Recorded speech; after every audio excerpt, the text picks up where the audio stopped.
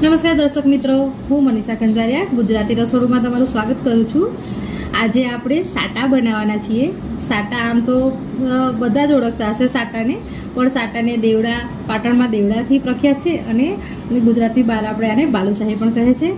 તો સાટા બનાવવા છે ને, માર્કેટમાં તો બહુ તૈયાર સાટા મળે છે, ફરસાણની દુકાને બધી જગ્યાએ મળી રહે છે, પણ સાટાને ઘરે બનાવવા એકદમ ટ્રીકી છે, કારણ કે એનું પ્રોપર મેજરમેન્ટથી જો તમે બનાવો, તો એકદમ પરફેક્ટ બહાર જેવા સાટા બને છે, ઉપરથી ક્રિસ્પી ને અંદરથી એકદમ પોચા બને છે.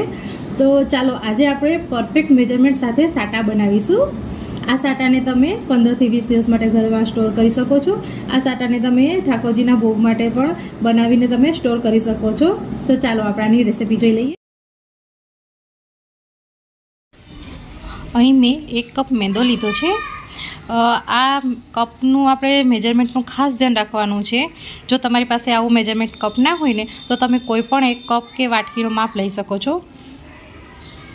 એમાં હું એક ચપટી, એક ખાવાનો સોડા ઉમેરું છું.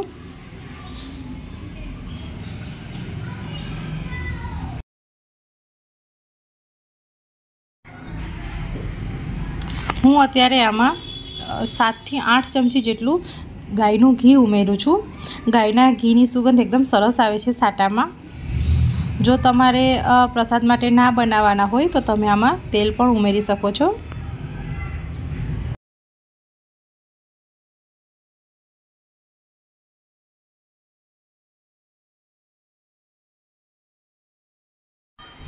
મેજરમેન્ટનું ખાસ ધ્યાન રાખવાનું છે. આમાં આપણે મોણમાં ઘી કે તેલ બિલકુલ ઓછું ના પડવું જોઈએ. હવે આપણે આને હાથેથી મસળી અને એકદમ મિક્સ કરી લેવાનું છે અને એકદમ ભાર દઈને મસળતા જવાનું છે. બધા લોટમાં ઘીનું મોણ પ્રોપર રીતે મિક્સ થઈ જવું જોઈએ.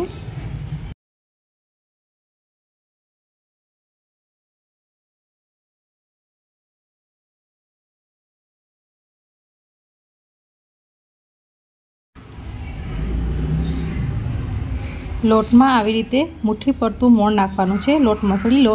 એટલે તમે આવી રીતે મુઠ્ઠી વાળી અને ચેક કરવાનું. જો આવી રીતે મુઠ્ઠીમાં લોટ દબાઈ જાય અને છૂટો ના પડે, તો આપણું મોણ પરફેક્ટ છે. જો તમારે આવી રીતે મુઠ્ઠી ના વળતી હોય, તો હજી એકથી બે ચમચી ઘી ઉમેરવાનું.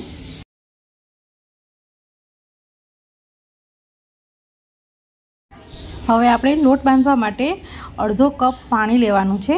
આપણે જે એક કપ ભરી અને મેંદો લીધો હતો, એનું અડધું, અડધો કપ પાણી લેવાનું છે. પાણીને બધું એકસાથે નથી નાખવાનું. પાણીને આપણે હથેળીમાં થોડું થોડું લઈ અને મિક્સ કરતું જવાનું છે. આ લોટ ના તો વધારે કઠણ અને ના તો વધારે ઢીલો રાખવાનો છે. થોડું થોડું પાણી ઉમેરતા જઈશું અને લોટ બાંધતા જઈશું.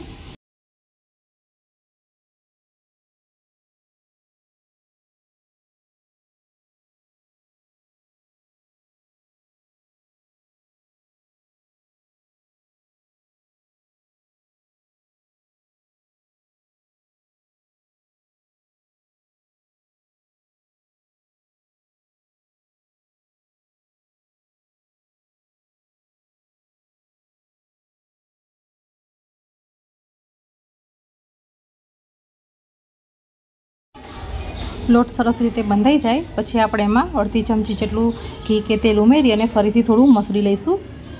જેથી લોટ સરસ લીસો થઈ જાય. તમે જોઈ શકો છો, લોટ વધારે ઢીલો કે કઠણ નથી. જો, આ આપણે અડધો કપ પાણી લીધું હતું ને, એમાં એક ચમચી પાણી બચ્યું છે. આ પાણી કેમ બચ્યું? કેમ કે લોટની ક્વોલિટી ઉપર ડિપેન્ડ કરે છે કે આપણો લોટ કઈ ક્વોલિટીનો છે. તેથી એક ચમચી પાણી વધ્યું છે. હવે આપણે આને એક કપડાથી ઢાંકી દઈશું અને દસથી વીસ મિનિટ માટે રેસ્ટ આપીશું. લોટને રેસ્ટ આપીએ છીએ, ત્યાં સુધી આપણે એક પેનની અંદર એક કપ ખાંડ લેવાની છે. જે કપથી આપણે લોટ લીધો છે, એ જ કપથી એક કપ માપી અને ખાંડ લેવાની છે. જો તમે કોઈ વાટકીનો માપ રાખ્યો હોય, તો એ વાટકી માપીને ખાંડ લેજો. પછી આપણે એ જ અડધો કપ ભરી અને પાણી ઉમેરવાનું છે. આ મેજરમેન્ટમાં ખાસ ધ્યાન રાખજો, નહીં તો ચાસડી પ્રોપર નહીં બને. લોટને રેસ્ટ આપતા દસ મિનિટ થઈ ગઈ છે. હવે આપણે લોટને સરસ રીતે મસળી લઈશું. હવે આપણે લોટમાંથી થોડો થોડો ભાગ લઈ અને આવી રીતે એક વાસણમાં છૂટો પાડીશું.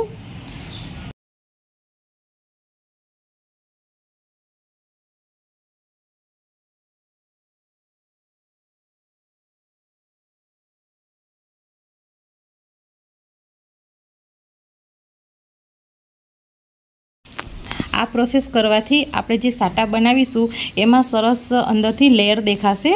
આવી રીતે હવે આપણે આ લોટને હળવા હાથે મસળી લઈશું.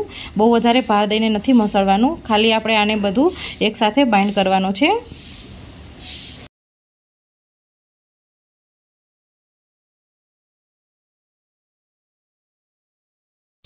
હવે આમાંથી નાની સાઇઝના લુવા લઈ અને આપણે સાટા બનાવીશું. મેં આ સાઇઝના લુવા બનાવ્યા છે. તમારે જે પણ સાઇઝના સાટા બનાવવું હોય એવડા લુવા લઈ શકો. જેમ મોટા સાટા બનાવશો એમ એને પાકવામાં વધારે સમય લાગશે, એટલે બને તો મીડિયમ સાઇઝના જ બનાવવાના. પછી આપણે આને થોડું પ્રેસ કરી દઈશું વચ્ચેથી. બસ આવી રીતે આપણે આપણા બધા સાટા વાળી અને તૈયાર કરી લઈશું.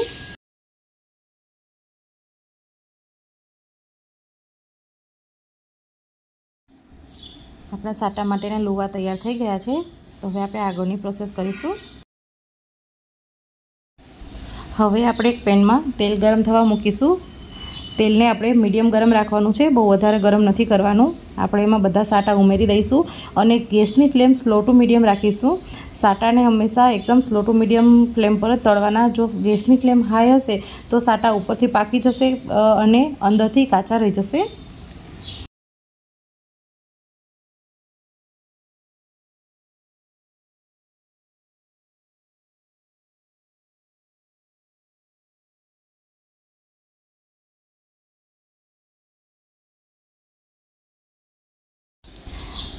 સાટા તળાય છે, ત્યાં સુધી વચ્ચે આપણે ચાસણીને પણ હલાવતા રહેવાનું છે.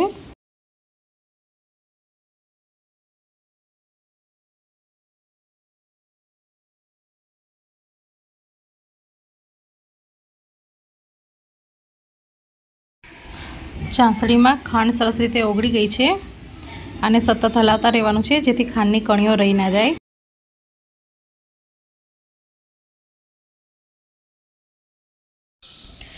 હવે આપણે સાટાને પલટાવી દઈશું. ગેસની ફ્લેમ સ્લો ટુ મીડિયમ જ રાખવાની છે. હવે આપણી ચાસડી જે પાકતી હતી એની અંદર ખાંડ એકદમ સરસ રીતે મેલ્ટ થઈ ગઈ છે. હવે આપણે આની અંદર ચાસડીનો તાર ચેક કરીશું. એક રકાબીની અંદર આપણે એક ડ્રોપ લેવાનું ચાસણીનું અને બંને આંગળી વડે આવી રીતે પ્રેસ કરી અને આંગળી આવી રીતે ઊંચી કરવાની.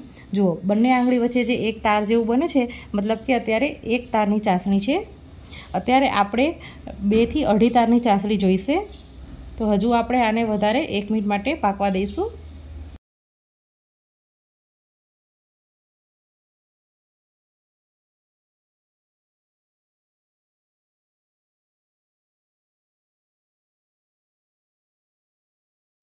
એક મિનિટ થઈ ગઈ છે, આપણે ફરીથી ચેક કરી લઈએ. એક ડ્રોપ રકાબીમાં નાખીશું.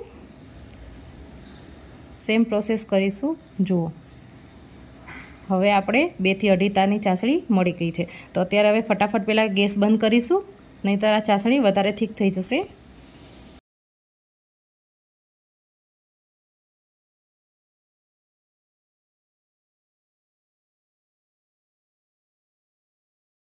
સાટામાં નીચે ગોલ્ડન બ્રાઉન કલર આવી ગયો છે. તો આપણે આને ફરીથી એક વખત પલટાવી દઈશું.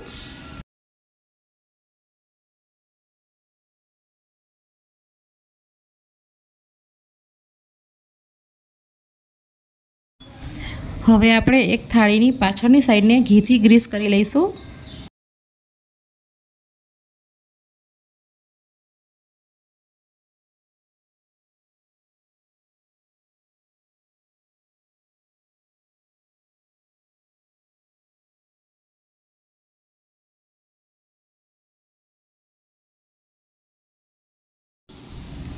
આપણા સાટા હવે એકદમ પાકી ગયા છે.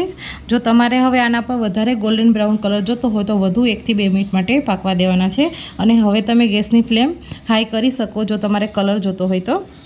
હવે હું આને બધા એક બાઉલમાં કાઢી લઈશ. આ બધા સાટાને બાઉલમાં કાઢી અને તરત જ ચાસણીની અંદર ટોસ કરવાના છે.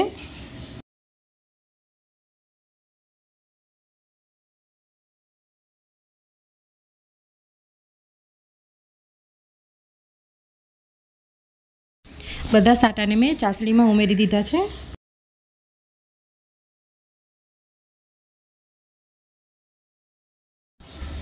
બધા સાટાને આપણે ચાસણીમાં સરસ રીતે કોટ કરી દઈશું.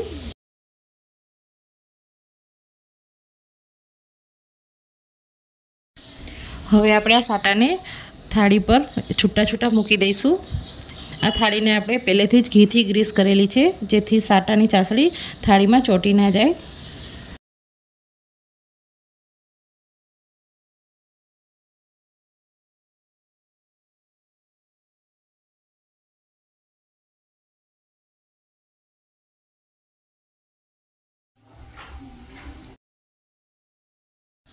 હવે પેનમાં જે ચાસણી બચી છે, આપણે એને ફરીથી થોડી ગરમ કરીશું અને બધી ચાસણીને ચમચી વડે સાટા પર ઉમેરીશું. આ પ્રોસેસ કરવાથી આપણા સાટા સાઇની લાગશે એકદમ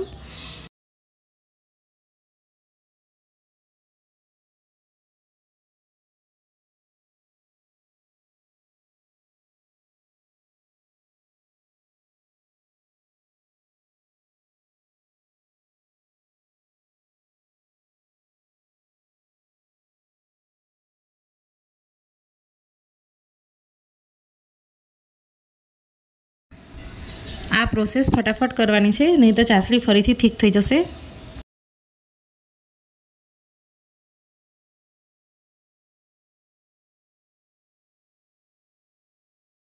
હવે આપણે આ સાટાને ઠંડા થવા જઈશું, જેથી ચાસણી સેટ થઈ જાય. હવે આપણા સાટા સર્વિંગ માટે એકદમ રેડી છે, આપણે આને પ્લેટમાં લઈ લઈશું.